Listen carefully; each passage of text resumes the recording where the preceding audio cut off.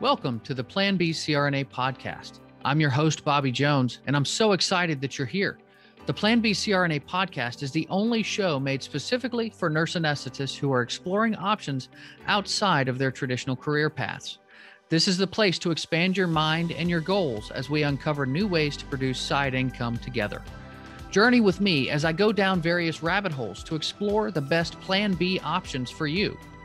This episode is brought to you by OnCall Capital. OnCall Capital is dedicated to educating CRNAs and other healthcare providers about investing outside of the traditional stock market. OnCall Capital also provides opportunities for you, yes, you, to create passive income and generational wealth while also lowering your taxable income through investments in the apartment and alternative investment spaces. If you haven't hit subscribe yet, make sure you do that right now so that you don't miss an episode. Thanks so much for joining me today. And now, on with the show. Welcome to the rabbit hole on the Plan B CRNA podcast. I'm your host, Bobby Jones.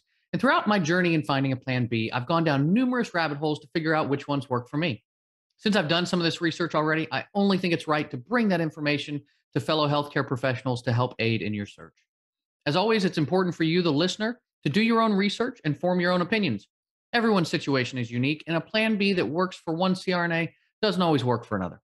Self awareness is the key in any decision you make since you must have an accurate grasp of your own strengths, weaknesses, and goals. Now, our topic today is one that I've looked into in the past, not to try to do myself, but because I could really use one for my own business.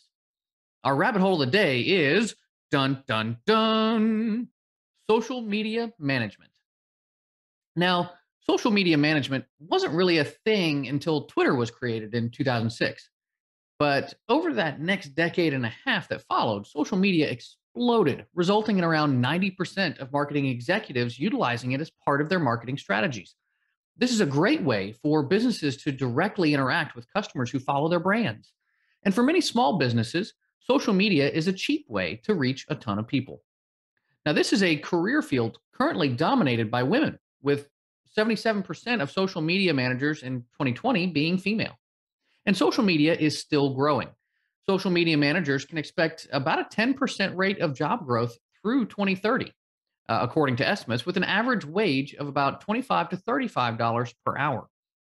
A social media manager may spend uh, about 10 to 20 hours per month on a single client, resulting in roughly $250 to $700 per account. Get a few clients, and you can get up to a few thousand a month, which isn't too bad, eh? But what does a social media manager actually do? In short, they're typically responsible for setting content strategy and driving engagement on a company's social platforms. To be successful, they often need to possess a knack for storytelling, a keen eye for design, and an ability to analyze what does and doesn't work with an audience. When I started to do a little bit of research into this specialty, I was honestly amazed by the sheer amount of options out there. There are those who focus more on the analytics and those who focus more on the strategy. There are community managers and moderators. There are copywriters and customer service folks. And of course, some of these roles require little training and some require quite a bit. It can be pretty overwhelming. And I don't want to get too far in the weeds though. I'm going to just assume that you're not looking to create the next Mad Men firm so, for our purposes, we're going to focus on the freelance social media specialist whose tasks include the following developing strategies to increase followers. You can boost a company's profile on all social media platforms by increasing the number of followers they have and the amount of engagement via likes, comments, and shares that they receive. You may need to develop written or visual posts to achieve this. Creating and overseeing social campaigns. To drive engagement, you are responsible for coming up with and sometimes executing social campaigns that align with the company's larger marketing strategies. This can involve generating ideas uh, for timely content or repurposing user generated content. Producing and monitoring content. You may be responsible for posting and monitoring on all social media platforms. You'll need to schedule posts and observe responses, and you may need to respond to comments and messages from followers. Reviewing analytics. You must be able to analyze data to draw conclusions about how a company's posts and content are performing. This includes monitoring what social media users say about a brand or its competitors. And communicating with company stakeholders. Companies want to know that the work you're doing is having an impact. So you'll be expected to report your accomplishments or any problems that arise. You'll focus on metrics such as follower growth, engagement, creative content, campaigns, and the like. Now, there is quite a market for social media managers as more and more small businesses look to utilize these types of services. Of course, there's plenty of competition too. Just type social media manager into Fiverr and you'll come up with thousands of them across the world. Some have their own business entities and some don't. If you're keeping it small, you probably don't have to worry much about that. And the sheer amount of competition, you know, that doesn't mean that you should worry. You can also use word of mouth or approach small businesses in your area directly to offer your services. It doesn't take too long to build a decent client list this way, and many people like having the personal touch of having someone nearby. If you're considering this type of side gig, you should probably enjoy and have some skill at various social media sites. You'll want to hone in on the platforms that you want to focus on. There's Facebook, Twitter, LinkedIn, Pinterest, Instagram, YouTube, Snapchat, and TikTok, to name a few. You don't need to be a master in all of them, just the ones that you want to offer to clients. On top of that, though, it would probably help you to take a social media marketing class or two. There are quite a few certification courses out there, such as HubSpot, Google Digital Garage, Meta, and Acadium, most of which are actually free. There are also college certificate offerings, such as from the Wharton School at the University of Pennsylvania for around $600, and UC Davis, where you can actually enroll for free. I have a link in the show notes for 10 of the best, so make sure you check that out. Now, choosing a program that fits what you want to offer is important. Some programs focus on social media marketing and strategy, some focus on Google search engine optimization, and others focus on social media advertising or influencer marketing.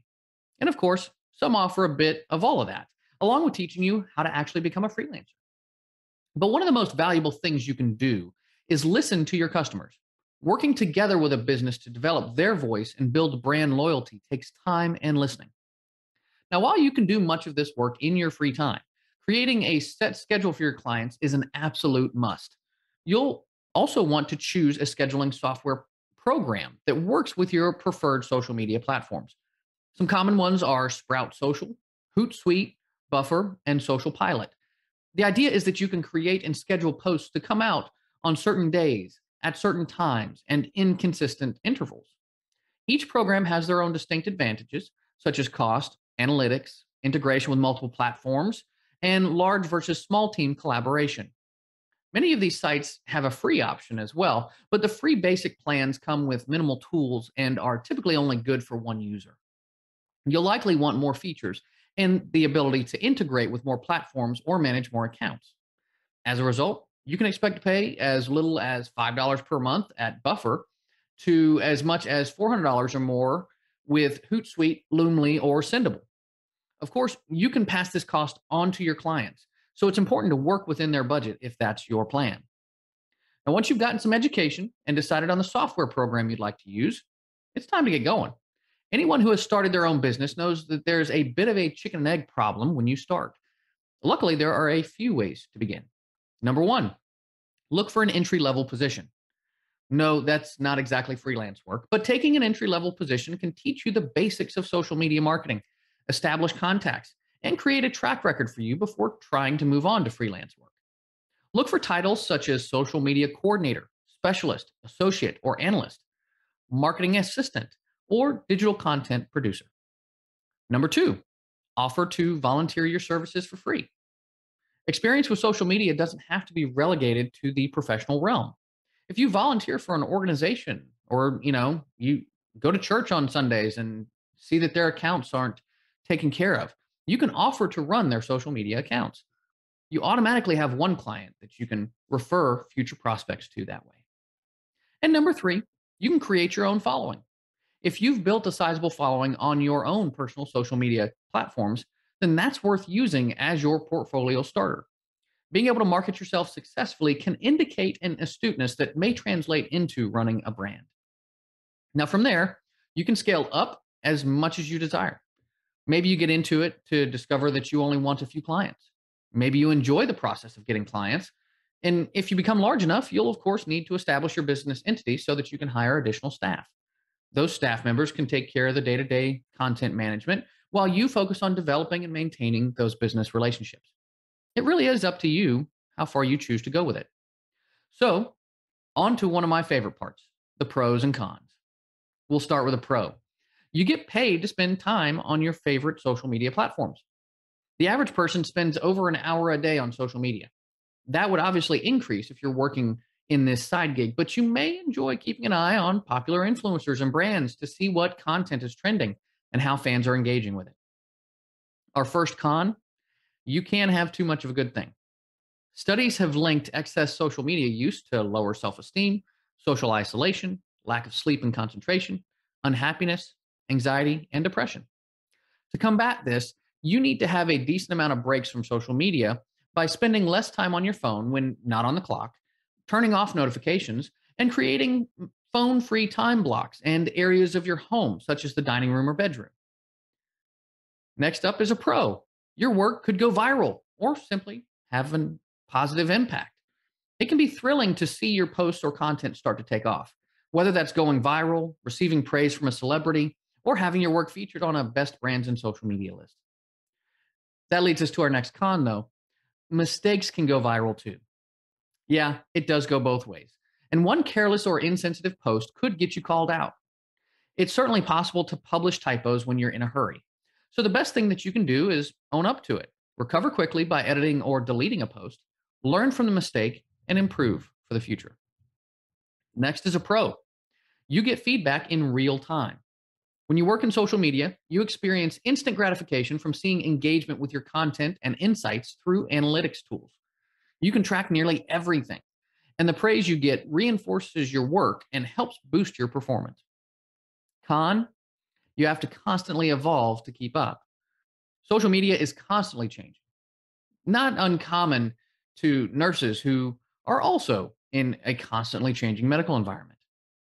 But social media interfaces themselves, features, and algorithms are regularly tweaked. This technology determines if and how your brand's content shows up in your followers' feeds. These updates should be expected at least yearly from the major platforms, requiring revisions to your own content strategy. Just because Instagram stories are the thing right now doesn't mean they always will be. Pro, you are in the know with your clients. You will often find out about any changes in company leadership, new products and services, and legal or PR issues before other members of the team because you're probably responsible for public announcements through social media. Con, the big news or emergencies, they don't often fit your schedule. Your role may include customer service and crisis management. And if an unplanned issue arises, you'll likely have a lot of unexpected work to do with a quick turnaround. That can be pretty stressful. Pro, the work itself can be very creative. You have the opportunity to give voice to a business, which often means adding your own spin to what the company represents. You can humanize your brands. Think about all the Twitter wars that have popped up between social media accounts. I mean, Wendy's is regularly slaying folks. Old Spice and Taco Bell got into a Twitter battle, and Popeyes and Chick fil A created a fried chicken war. Adding your own creativity can actually be really fun. And next is our con there is variation across industries. Some companies will give you a ton of authority and control to publish timely content and resource and responses, and others may require multiple rounds of approvals before publishing new content. It can be a significant challenge to produce relevant in the moment content if you work with the latter. Pro, this is a scalable business. As mentioned earlier, you can keep it as small as you like if you're just looking to take up some spare time, or you can go bigger if you start to scale, you can always hire staff to handle the things you don't enjoy. Con, this is an active side gig. You are trading time for money, and it takes work to put out consistent, high quality content. And lastly, our final pro social media management is incredibly flexible. You can perform the tasks at nearly any time, particularly when the majority when the majority of your content comes out through scheduling software. Now, only you can know whether the potential advantages outweigh the potential disadvantages. If you like being creative and working at a fast pace, doing something that's valued and in demand, then maybe this is for you. If you'd like to learn more, Jason McDonald is an author who has specialized in this particular niche. A few of his books are The Social Media Marketing Workbook How to Use Social Media for Business, SEO Workbook Search Engine Optimization Success in Seven Steps, and Google Ads Workbook 2022, Advertising on Google Ads, YouTube, and the Display Network. And all of those books, uh, along with several others that he's written, have been updated for 2022. And of course, I have a ton of links to help you get started on your journey. So check out those show notes. That's going to do it for today's show. As always, I'd like to thank you for listening to the Plan B CRNA podcast. If you found value today, make sure you hit subscribe and give us a five star review. This show only grows because of you. So make sure that you share it with a friend, family member, or colleague to help them on their own passive income journey. I also want to hear from you. If you have a question, comment, or rabbit hole topic that you'd like me to cover in an upcoming podcast, make sure you rate and review us on your podcast player. I check those all the time and I cover those questions in future episodes. If you'd like to know more about me and gain access to passive investment opportunities, make sure to find me on Facebook, LinkedIn, or visit my website at www.oncallinvestments.com. This is Bobby Jones signing off. Until next time, be safe and take care of each other out there. Thank you so much for joining me for another episode of the Plan B CRNA podcast. If you haven't already subscribed and reviewed the show, I'd be honored if you took the extra time. It really helps to expand our reach and get the word out about the show. If you're a CRNA who is interested in sharing your story on our podcast, I'd love to have you. Please email me at bobby at oncallinvestments.com for more information. This episode was brought to you by OnCall Capital. They are dedicated to helping providers like you develop passive income and generational wealth through investments in the apartment and alternative investment spaces. Feel free to check out their website at www.oncallinvestments.com and subscribe to their free educational email series. You can find OnCall Capital on Facebook, Instagram, and Twitter. You can also check out our YouTube page, where you'll find all of the show episodes along with other educational videos. Thanks for listening, and we'll see you on the next episode.